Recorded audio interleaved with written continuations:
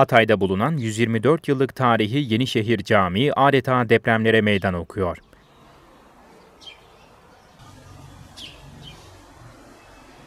Hatay'ın Reyhan ilçesinde bulunan ve 1317 yılında yapımı tamamlanan tarihi Yenişehir Camii, Kahramanmaraş ve Hatay merkezli depremlere karşı adeta meydan okuyor.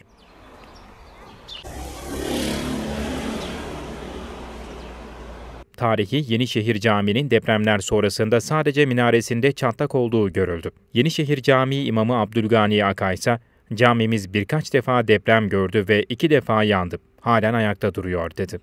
Camimiz birkaç defa e, depremler ve iki defa yandığına, yandığından şimdi de hala elhamdülillah duruyor, yıkılmadı.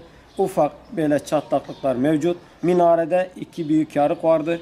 İşte devlet büyüklerimizin inşa etkilerin caminin minaresinin taşlarını tek tek söküp tekrar imar etmelerini emel ediyoruz. Yatsı namazının e, tesbihatındaydık.